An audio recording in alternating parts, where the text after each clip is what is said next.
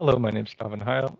I am in Dr. Bonomo's lab, and the work that I am doing in the lab involves single-cell protein sequencing by utilization of amino acid selective chemistries and nanopore sequencing. The overall objective of this work is to determine the amino acid sequence at a single cell concentration using barcoding and nanopore sequencing to map the entire proteoform of a cell. So we want to look at um, what proteins are inside of a cell, as well as the relative concentrations to each other, and we need to be able to sequence these proteins individually be able to do that. Um, the only issue is current protein sequencing techniques have several drawbacks that prohibit us from being able to do that um, with mass spec. That is the, the concentration. Um, the, concentration of the cells too low to be able to be detected by mass spec. Um, it's important. This is works important because proteins can serve as biomarkers for disease, so we will be able to tell which proteins are inside of a cell to determine which diseases this individual may have. Nanopore sequencing works by detecting a change in current caused by the pore blockage. So this illustration at the bottom demonstrates that as our peptide moves through our nanopore, we get a change in the current um, from one side of the membrane to the other.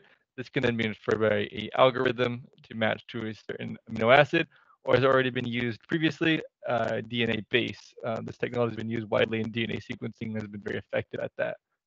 For the previous work uh, that has been reported, they've used uh, fluoro, sequencing. So this involves a chemical modification of a peptide.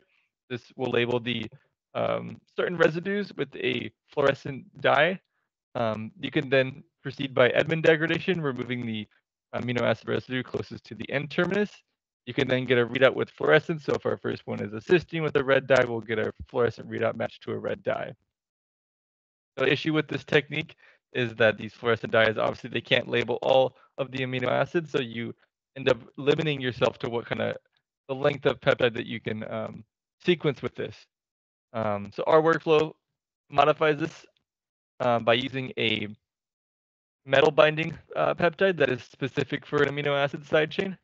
This can then be uh, bound with our our cycle number barcode here. This reacts with the N terminus. We then will get our amino acid bond to our metal barcode here, our metal barcode uh, with the peptide, and then is bound to be our cycle number, our metal barcode. We then proceed through Edman degradation. This will give us give off our our molecule that will pass through the our solid state nanopore and will give us a readout that will give us uh, it will give us the readout of this metal bound metal bound uh, barcode to the amino acid. So we know what amino acid is bound. It'll also give us the barcode for the cycle number, so we know which uh, number in the chain this amino acid is as a way of sequencing. Um, this can then be repeated for each individual amino acid. And then using a machine learning algorithm, we can infer um, the amino acids that can't be labeled uh, with very high accuracy. This new workflow obviously moves away from the fluorescent sequencing strategy. And these solid state nanopores that we're using, um, they have some advantages over the biological ones, including being more tunable and they're also more durable. As we're doing Edman degradations, we need these to be able to resist uh, those harsh chemicals that we that are used in this process. We'll also be creating new amino acid specific uh, bioorthogonal reactions. So these are shown here in the bottom right.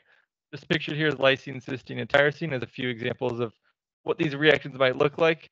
Um, this can be, this is the fluorophore that you could use to kind of confirm that this is bound, or you can replace that uh, with a metal peptide there, and then that will react with your side chain. These are just three of the residues that we're currently working on and that have been reported in literature. Um, there's other ones that we're also developing. Um, this will also allow us a uh, improvement in the identification of post-translational modifications um, compared to previous uh, methods for uh, protein sequencing. And this also prevents signal loss caused by fluorescent uh, dye degradation during Edman steps. The uh, fluorosequencing, the chemicals used in the Edman degradation would degrade the dye, so you get a loss of a signal when your fluorescence readouts. This would um, limit the length of the peptide that you could sequence just due to the degradation of those dyes. Um, that is an overview of what we're working on in the lab, and thank you for listening.